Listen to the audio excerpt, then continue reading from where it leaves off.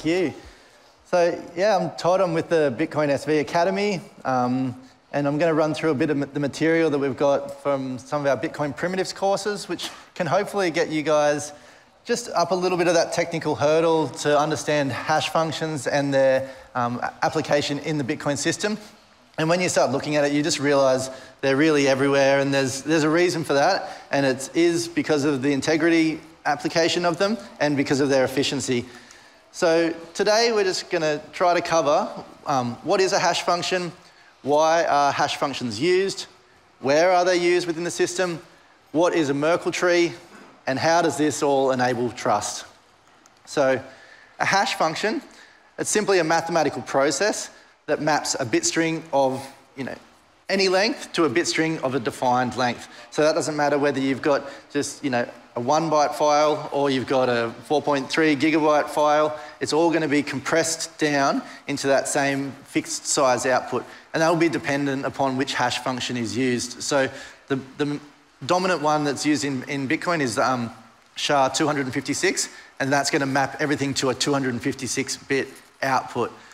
So there's a difference as well between hashing and encryption in, in that hash functions, they don't care about the data loss. They're a compression function and they're not reversible. Whereas a encrypt, if you're going to encrypt some data, you very much need to decrypt that data to um, understand the, the contents of the message once it's been passed across that channel that you encrypted it for. So, you know, you don't want to get some information from the general and then find out that you don't know what time and whereabouts you're supposed to be attacking. But the hash functions, because they're compressing everything down into that fixed size output, and we're taking you know, any range of data values, there's always going to be that collision risk because there is only the 256-bit space for the output to be in. So um, you may have heard of them as a one-way trapdoor function, and that's that they're computationally infeasible to go back once you're given that 32-byte or 256-bit output to find out what input went in there. So it's analogous to um, you know, cracking an egg and then going, oh, I'm just going to put this back together, or um, putting the tube back in the toothpaste, or turning that brown paint that your kids have made out of your um, three primary colours.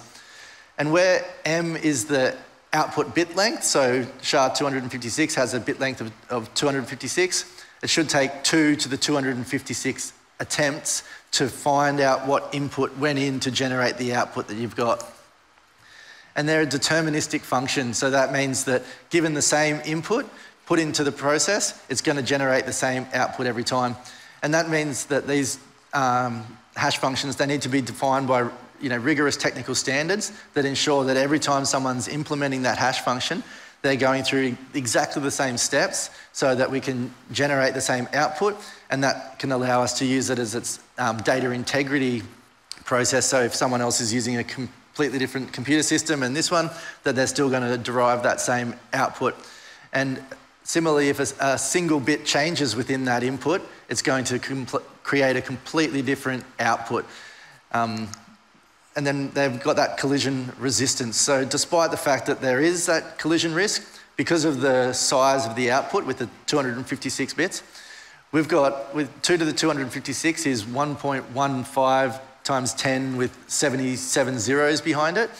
So that's a, a, huge space that we can generate in, and with that we can effectively assume that there's you know, a zero possibility of generating that collision, um, though it does still exist there. So um, under the hood, the hash functions, there's, there's quite a few operations that occur that, that make it that one-way function. So there's these bitwise operations, not, and, or, X exclusive XORing. Um, there's modular arithmetic, there's logical functions, pre-processing, but essentially what it's doing is it's taking that, um, the A to H, you know, that, that um, bit string there, and it's slicing it into these units and then performing a, a, a range of uh, steps upon it. Sometimes it'll be shifting the binary representation, the ones to zeros and zeros to ones, and then it'll be um, it uses a modular arithmetic, which is essentially finding the remainder and not being interested in what number generated that remainder. So 10 mod 2 is um, going to be uh, 0. Oh, sorry, 2 mod 10 is going to be 2. Um, so is 22 mod 10 is going to be 2 because it's the remainder after it's been divided by a number. But because of that, um, that function where you can't know what number was divided by it, it means that the approach will take brute force to, to sort of figure out that, and then you've got multiple rounds of that occurring within the creation of that output. So I'm not going to pretend that I understand all of that because I've seen the, the computer functions and stuff that are involved to generate that output, but you can sort of see from this diagram those, those different segments get put in, different processes occur to that, and then they get brought back in and they're shifted into different positions within the output. Um, and so this is just a little table that's demonstrating whereabouts they are used within the Bitcoin system. So SHA-256 is in the proof of work algorithm. Um, it's in uh, address creation. It's in the generating the transaction identifier. Um, RIPE-MD 160. So that's got a 160-bit um, output or, or, 20 bytes, in, um, and that's used in the address creation. We have hash 256, which isn't technically a hash function itself. It's the name of the opcode that is used in um, generating the output, but it's just a double application of the SHA 256-bit function. Uh, and then we, can, we still have the use of um, SHA 512 in there that will, um, is useful for the wallet encryption. So the first place that we'll really look at where they're being used is in the, in the transactions themselves. So you can see here we've got a few like sort of, you've probably seen this image, it's in the white paper, but we can see that you've got the, the public keys, the private keys, the signatures, the verifications, all operating against that hash in the center of the field there. So, you know, you sort of see that and you think, oh, I understand that at a high level overview, but what actually is the hash of the previous transaction that is, you know, going to be signed and, and um, that message is going to be verified? So this is the data structure of the SIG hash pre-image. So the SIG hash pre-image is the, the values of the previous transaction, the values that we're going to be putting into outputs going out of the transaction, and specific sort of lock time features and um, you know, in, indicative value, flag values, which will say how we've created the signing scheme itself. So you can see within this data structure itself, you know, the N version, then we've got the hash of the previous outs. So that's a, the hash of the previous outs. So the previous outs themselves is all the transaction IDs for, that have the inputs that we're going to be using, and then where that, um, the index of the position of the input that we're going to use. So when that transaction, if it made 10 outputs and we're using the 10th output, you give its transaction identifier and the index position of 10. But a transaction can have many inputs. So we can we chain those together and they'll be in order. So the, the first input, the second, the third. And then we hash those to compress if you've got 100 inputs, it would have been 3,200 um, bytes of characters, and we can reduce that back down to 32 bytes. Then we have a hash of the sequence value. So the sequence value is specifying the finality of the transaction. So if that input can only, it's the last time that input can be um, sort of iterated upon, or whether it's you know the first one, and that's really important in um, the payment channels. But ensuring that we're not going to have any malleation on that input being, you know, with that value being changed because once they've been put through that hash function, and then we can generate the, the SIG hash, which is the hash of all these values together, um, you don't want to be able to, you know, change any of those values because the signature is going to be applied onto that message, which will guarantee the integrity of that um, data element itself. But another reason why we've got these hashing here is because we want we're, we're, working with a deterministic hash function that's always going to produce a fixed output, and we want to be able to pass this off to someone else to evaluate. So when they're this data field, because we have these flexible transaction schemes, which are specified by the SIG hash flag, we need to be able to um, sort of create, use a standardized data length, which is that 32 bytes of the hash output, but sometimes we'll specify that there's, it's completely populated by zeros, and that'll be in a transaction where we haven't signed any of the inputs. And similarly, in that hash of the outputs, you fill that field all with zeros, and it means that someone can then add outputs into that transaction after you've created the signature without it invalidating the signature because that first message changed. So tomorrow I'll be um, presenting on digital signatures and we can sort of see a bit more of this process because it's pretty tricky here, but it's, it's interesting to see that it's not just simply the transaction itself that's being hashed, it's a particular combination of values that are going in, values that are um, of, of what's being spent, and um, you know, to allow this flexibility in the Bitcoin scripting and the, you know, the, the rich set of transaction um, templates that can be used. And then the next place where most people are probably familiar with the, um, the hashing is in the proof of work process. So I've tried to sort of knock up a bit of a wireframe here of how that process occurs. But we've got the block header there on the left, which is an 80 byte string of some metadata about the block. Um, so that's going to include the version field, the hash of the previous block, which is the, the solution to that proof of work challenge. Then we've got a hash of the Merkle root, and we'll, we'll go into Merkle trees shortly, but that is a secure summary value of all the transactions that are contained within the block. And then we have a timestamp, and we have the n bits, which is a, the difficulty parameter on the, um, the proof of work process, and the nonce, which is the number used once. And remember what we said, we've got that 256 bit output from the SHA-256 function. So there's a number between zero through to 1.15 times 10 to the 77. So we can think of that as an entire number space. And then within that number space, we can, uh, you know, evaluate that most likely it's going to be a number somewhere in the middle, and the really small numbers are going to be extremely elusive, and the really large numbers are going to be extremely elusive. So we hash that, that block header, the 80 bytes of it, and check did that, um, the hash output fall within a very small space or did it fall within the bulk numbers? And that's, that, the size of that space, that little green square there, is specified by that n bits value. And when you get a, so if you get an incorrect value, it goes around and increments the, the nonce in the, um, the block header. And that's a four byte field. So there's 4.3 billion um, iterations of that nonce that you can use when all the rest of the values are static. But these machines are capable of um, hashing you know, trillions of hashes per second. So there's another data field within the Coinbase transaction, which is the first transaction in a block that awards the, um, the, the block reward and the transaction fees and that's called the extra nonce. And then when you modify that um, value in the extra nonce field, you'll also change the, the hash of then that Coinbase transaction, which will change then the secure summary value in, as the Merkle root.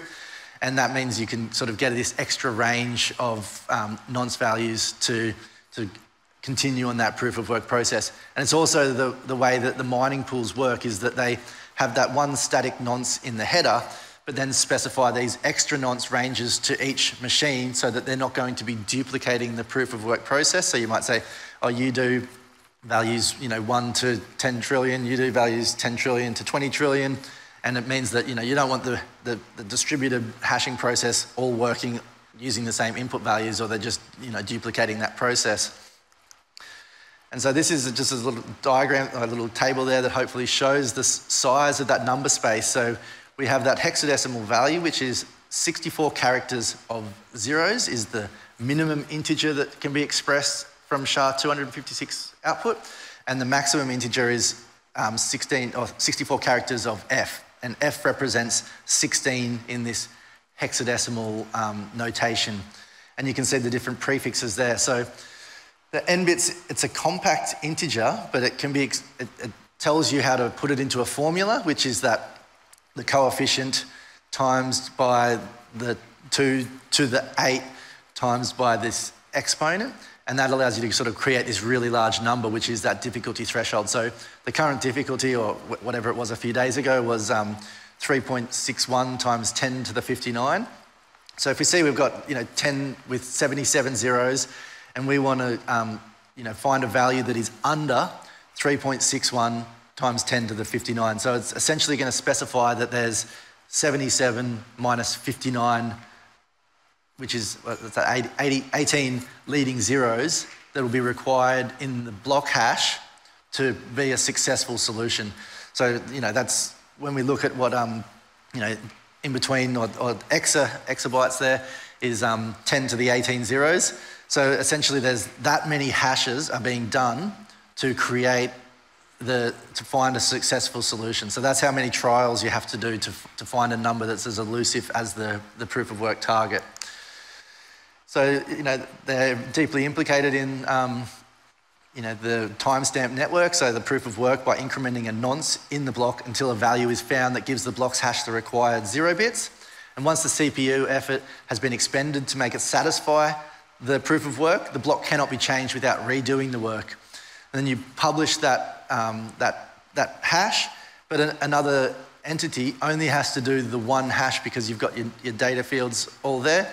So it can be verified in a fraction of a second. So they're a really efficient mechanism for ensuring that data integrity. And because the hash of the previous block is an input into that um, pre-image, which is the, the data that is being hashed to create the output, it means you can't change any details from a previous block without having to redo all of the proof of work. So that, that 10 with 18 zeros worth of guesses. And as soon as it goes you know, beyond a certain depth, it's just practically impossible to change through that. So you can see here you've got the red nodes and they're competing with the green nodes there to um, find that proof of work. And you can sometimes end up with multiple competing uh, um, chain tips as they've all found a successful solution in a really short period of time. And they don't want to, you know, just say, okay, yeah, you found it, you know, you, you have it. So there's this competitive process that occurs. And gradually over time, you see the, the green one ex extends itself and becomes the longest proof of work chain. Whereas these other ones, you know, they're still trying to guess that number and are just left there and they either have to, you know, there's, there's no reason. Once they see the, the blockchain moving ahead, they will jump onto it and reference the, previous, the, the latest um, block hash as their hash of the previous block in their header. And that's the mechanism by which the consensus occurs. You know, there's no other way to signal your acceptance of a block other than, than including its hash as an input into your header and building you know, fresh blocks upon that. And you can see there, this is the sort of the chain of the headers, and you've got that data structure underneath, which is the Merkle trees. It's moving a bit fast there, but um, that's the transactions that are being recorded to be um, generate that root hash value that sits in the block header. So this is bringing us onto Merkle trees, which is the, leveraging the property of these um, deterministic hash functions to create a, a single secure root value. So the, the, the, data set here is, you know, someone's had a go at spelling Merkle a bunch of times. Each of those strings has been put through the hash function to generate those random characters as output. And then you combine the hash of the first value with the hash of the second and hash those together to create a new hash. So it's sort of, you're generating a 32 byte value and another 32 byte value. So you've got a 64 byte input putting that through and generating another 32 byte output, but they're always converging to create that single root value at the top. Um, so in Bitcoin, the data set itself is the raw data of a Bitcoin transaction.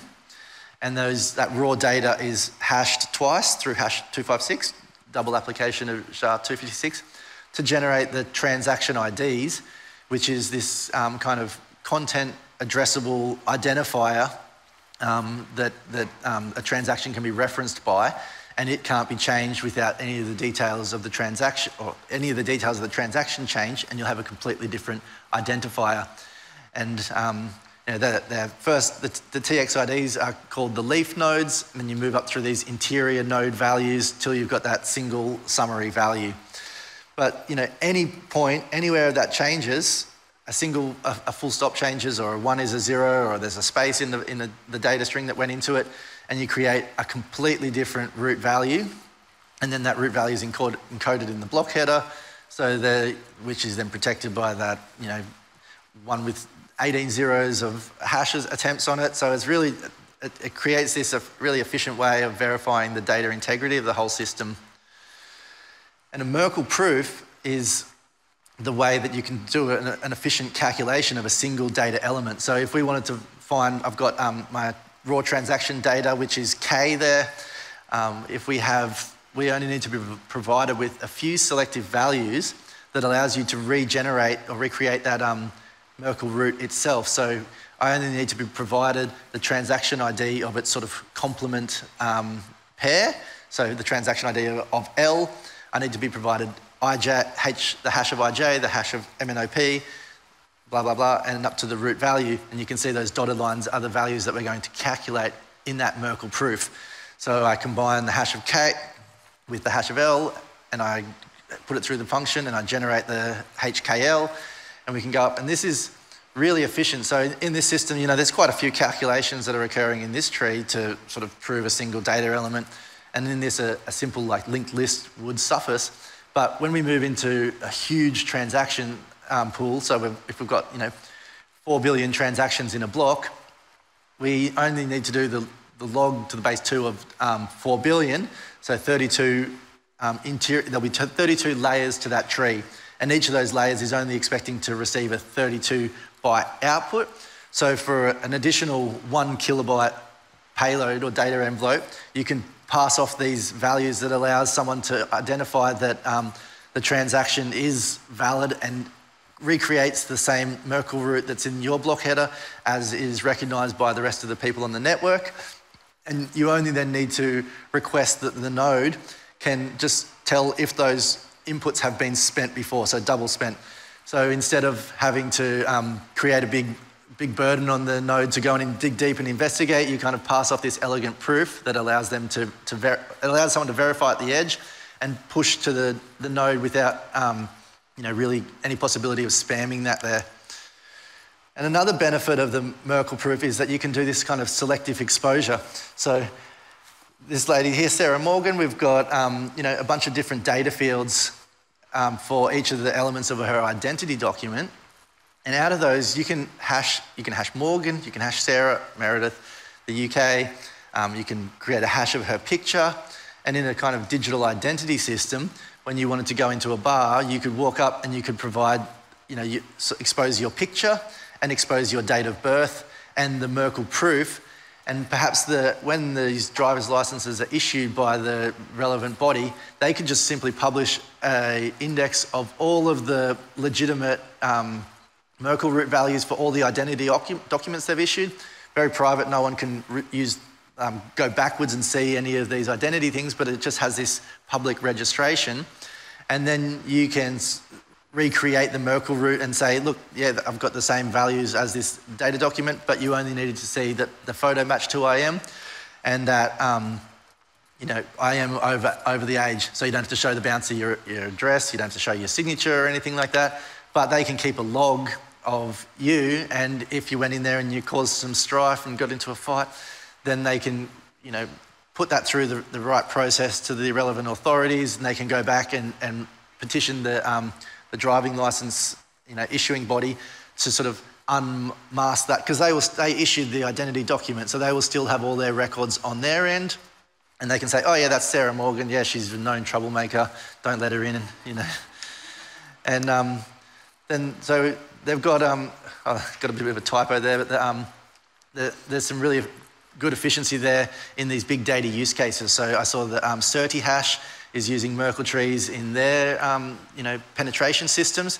But this is um, just a little um, announcement a couple of weeks ago of what is happening with MetaStream, and that's Paul Chiari from Weather SV, and this is some of his suite of tools. Um, this is Metastamp now, and he's working with Daniel Keene of Predict Ecology, and they've got these huge LiDAR sets, which are you know 230 gigabytes of, of intensive data. And normally they would um, publish you know, just the value to the chain and you get that integrity proof there. This is the same data set. But if you want to have more granular resolution and um, specificity in your auditing, they've reduced this data set down into these small four meter by four meter voxels and created, which are normally 90 kilobytes worth of data themselves, but they've created a Merkle tree out of each of those voxels, which can then be um, recreate, then each of those elements will be inputs into another Merkle tree, which is like securely summarized. And that means that that um, 230 gigabyte file can be securely recorded on the chain with the ability to identify where there is changes, because these guys are taking, say, a 36 square meter kilometer um, survey before a mine or something has gone in, and they want to assure that the um, you know the right tree count and such is there uh, on the restoration process. So they can go right down into a four metre by four metre area and check that it's, you know, that's, it's, it has the same um, data provenance that then they can make the case, hey, you guys didn't actually restore it to this original state and this state is still in its, you know, proven, proven integrity because it's been published on the blockchain with that timestamp. So um, these are just this is some of the content from our primitives courses. We've got the Merkle trees, the hash functions, and we've got one on digital signatures at the Bitcoin SV Academy. So they're free. They're, um, they've got some rigorous assessment. They're, they're fun as well, and they um, they'll give you a certification at the end, which you know can demonstrate that you've got some competency in these topics. And hope to see you guys all you know going through that and advancing yourselves and having more meaningful discussions around um, Bitcoin itself. So thanks very much for listening, and hopefully see you guys tomorrow. Cheers.